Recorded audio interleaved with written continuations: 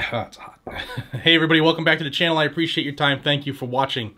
Up early, early this morning, uh, and the first video of the day is going to be an update on three of the gun control bills that have been placed on legislative calendars, meaning they can be voted on at any minute.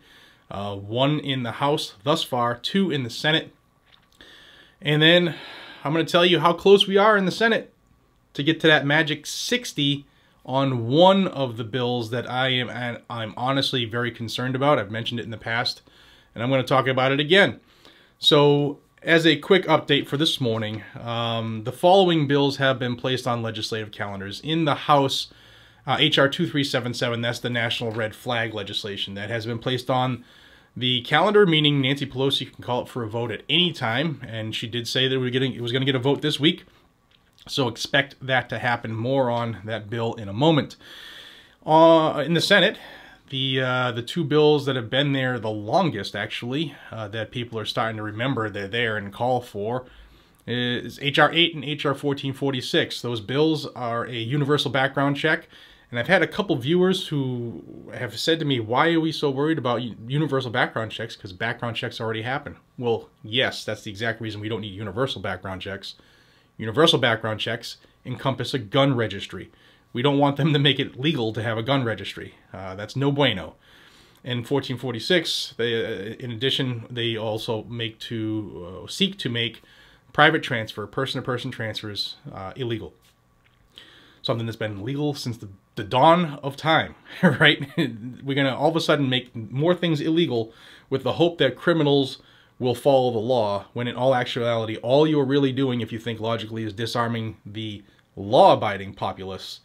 The criminals will still be criminals, and then who will have anything to defend themselves, if you want to play it out on paper. So those three bills have been scheduled for votes. Uh, they're on the calendar. There's no date and time currently. It's just on the calendar, meaning they can pluck it and place it and go to a vote. Uh, the latter two, H.R. 8 and H.R. 1446, are in the Senate, meaning they need that 60 uh, vote threshold in the filibuster, which means they need at least 10 Republicans to side with these two bills. I don't see that happening, to be honest. What they're doing, what I think Chuck Schumer is doing by now scheduling the vote, is to get a roll call vote. What that will be used for is ammunition to weaponize, weaponize, weaponize that vote come November to say these people voted against gun control in the midst of all this terrible, terrible gun control. And there was another mass shooting in Philadelphia last night. Uh, we have to have to do something, and these people stand in the way, and they're bought by the gun lobby, and the gun lobby's broke, but nobody knows that. Um, so I don't think those are going to make it. My concern is 2377, the red flag bill that was scheduled, oh, put the place on the calendar in the House. That's going to fly through. It's going to absolutely fly through the House. It's going to be rushed to the Senate. And that is where I have a great concern. Why? Well, Jared, you said they need 60 votes, and there's no way 10 Republicans will side with this. Well, follow my math, if you will, because uh, we're dangerously close. And in my vision, my, my point of view, my angle on this one is all they have to do is bribe two or three uh, senators, and they do, they bribe each other all the time, pull strings, pull favors. Uh, hey, remember that time your son uh, had a laptop and we got him off? That kind of stuff. So it's a 50-50 split. Now, I'm, I'm assuming they go right down party lines, especially with gun control. They're very, very uh, divided. And there is one wild card, which we'll talk about at the end. But this is how I see it. Uh, and I could be wrong. This is my opinion. Doesn't mean it's gospel. And if you have a different opinion, that's okay. Doesn't mean uh, we have to brawl. It just means that we see things slightly different but I'm being cautious on this. So right away, I'm going to give you five people who are working with the Democrats to get this red flag bill more palatable. All right, and I'm counting those five as an automatic vote because they're working to get the bill uh, through Congress to get more uh, Democrat, more Democrats to like the new version that Republicans will like. That's Lindsey Graham, South Carolina, John Cornyn of Texas, uh, Pat Toomey of Pennsylvania, Susan Collins of Maine, and Bill Cassidy, Louisiana. I am counting those five as yes votes. Does that mean you have to? Nope, doesn't mean that. But uh, this is my video, and that's what I'm doing. Now that means five more. They would need five more Republicans to vote yay on a red flag legislation bill, and then it would be able to, you know, get cloture and, and, and get past the filibuster and onto the floor for a full vote. And uh, this is how I see it. Marco Rubio of Florida. I see him as a yes. Why?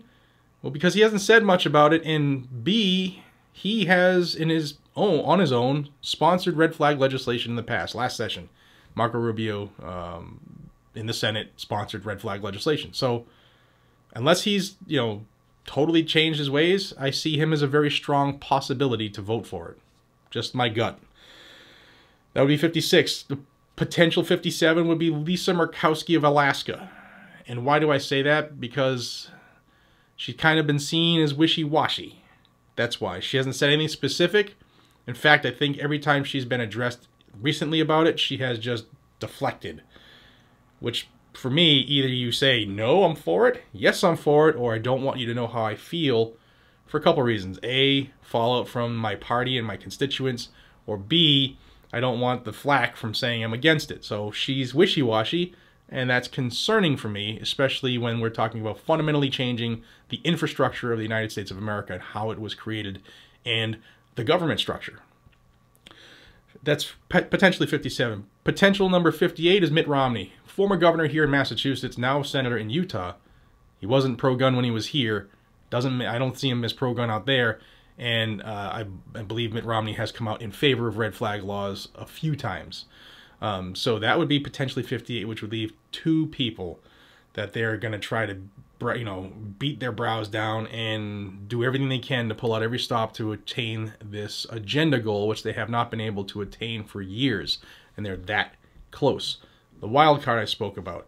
The wild card is the one Democrat that we have unfortunately had to lean on the last two years for anti-gun legislation, and that is Senator Joe Manchin in West Virginia.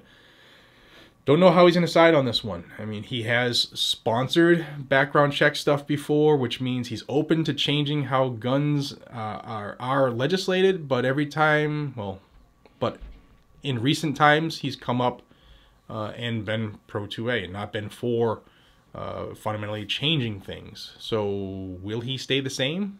I don't know. Remember, the government, his wife got a job in government. Maybe that's pulled and said, hey, look what we did for you. Bears Bears watching is what I'm saying. Uh, so if if Manchin doesn't vote for it, then they would have to, you know, beg Bauer and steal and bribe a third senator. And you know, let's be honest, in politics, is it really that difficult to bribe three uh, sheep? With, you know, that's all they want is money and power. I don't know.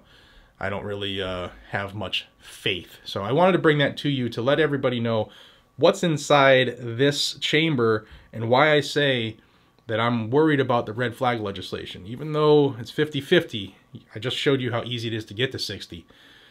And that one I'm concerned about because there's a lot of people on both sides of the aisle talking about we have to do something. And that one is the most concerning.